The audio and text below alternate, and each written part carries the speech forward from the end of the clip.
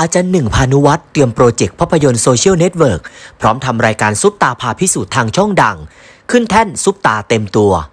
เรียกได้ว่าฮอตมากๆสำหรับอาจารย์หนึ่งภาณุวัฒน์หลังจากที่ได้ออกซิงเกิลล่าสุด ขึ้นโชว์ ร้องเพลงในงานคอนเสิร์ตการกุศล สงครามไม่สุขใจส่งให้ถึงแม่ ล่าสุด ควงศิลปินตัวเล็ก น้องมิ้นนัทธนิชาเจ้าของผลงานเพลง เด็กแล้วไง และน้องพีกฤตเมธที่กำลังจะปล่อยซิงเกิลปาร์ตี้อกหัก พร้อมเผยโปรเจกต์ภาพยนตร์ที่กำลังจะออกฉายเร็วๆนี้ เรื่อง Social Network และขึ้นแท่นซุปตาร์เต็มตัว กับรายการใหม่ ซุปตาร์ผ่าพิสูจน์ทางช่องดัง และเตรียมปล่อยซิงเกิลล่าสุด เพลงเพ้อในวันที่ 27 สิงหาคมนี้ วันนี้เตรียมมาสองเพลงครับ แต่เป็นเพลงออกแนวรักซึ้งแล้วก็เศร้านิดนึงกินใจหน่อยๆนะ ชื่อเพลงว่าเพ้อและอีกเพลงหนึ่งก็อีกนานแค่ไหน ซึ่งสองเพลงเนี้ยเราแต่งขึ้นมาครับก็เลยว่างานนี้ก็เลยมาร้อง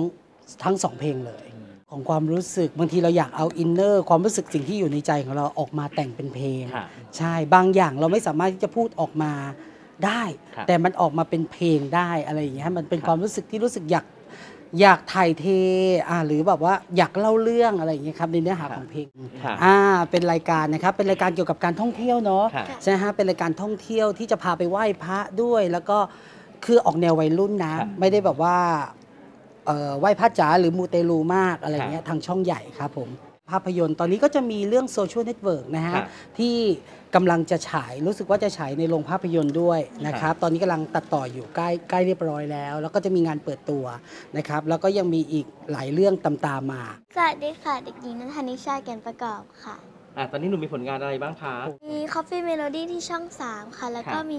MV เพลงเป็นของตัวเองชื่อว่าเด็กแล้วไงค่ะ แล้วก็มี Bad Social ค่ะ สนุกไหมคะได้ทำงานในวงการสนุกมากแล้วก็ชอบมากๆเลยค่ะ ครับผมพีกิตเมธนะครับค่ะอันนี้ก็จะมีผลงานเรื่อง Bad Social ที่ว่าแสดงกับน้องไมมินแล้วก็เพลง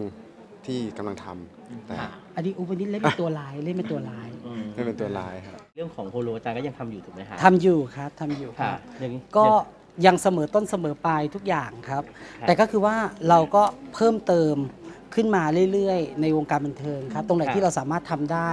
คือหนึ่งเนี่ยมันมาจากความฝันด้วยครับในสิ่งที่เราอยากก้าวเข้ามาสู่จุดนี้นะครับ แล้วก็มันเป็นความสุขสองอันบวกกันค่ะมันก็เลยทำให้เราเดินมาได้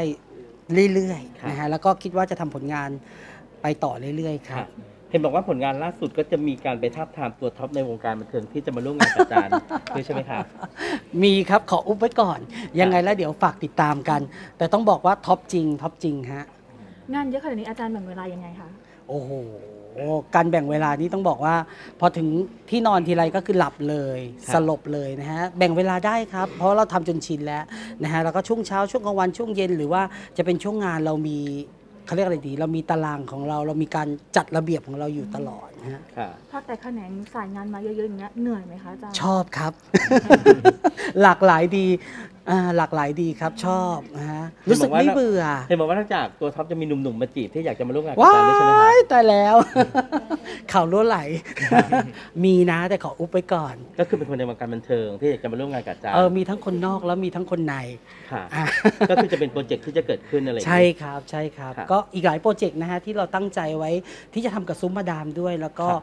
หลายๆ หลาย ๆ ที่ด้วยครับนะครับ แต่ก็ตั้งใจในในในการทำผลงานออกมาให้มันดีที่สุดนะฮะครับอยากร่วมงานกับอาจารย์ก็ติดต่อมาได้ที่ทางซุ้มมาดามได้เลยครับหนึ่งครับช่องทางนะครับ แล้วก็ฝากผลงานของอาจารย์ตอนนี้ผลงานเพลงนะฮะเพ้อกำลังจะออก MV ในวันที่ 27 นี้ค่ะโอ้โหอาจารย์เล่นเองเนี่ยเลย เล่นเองเลยเล่นเป็นนางเอกเองเลย แล้วอย่างแล้วพระเอกในพระเอกในเอ็มวีอะคะหล่อมาก อืม อ่า เป็นไง รู้สึกว่าฮอร์โมนตรงกันมาก แต่จะแซบขนาดไหนต้องไปติดตามนะใน MV ต้องบอกว่าสยิวกิ้วคือถ่ายแล้วถ่ายทำถ่ายเรียบร้อยแล้วนะฮะทุกวันนี้ยังคิดถึงการถ่าย MV อยู่เลยนะฮะความรู้สึกนั้นยังอยู่นะฮะแต่น่ารักน่ารักเข้าไปดูมันเป็นผลงานที่อาจารย์อยากถ่ายทอดความรู้สึกเรื่องของเนื้อหาของเพลงออกไป คืออยากให้ทุกคนได้อิงกันนะอะไรเงี้ยสิ่งที่ทำเนี่ยก็คือ อยากให้ทุกคนมีความสุขนะฮะครับ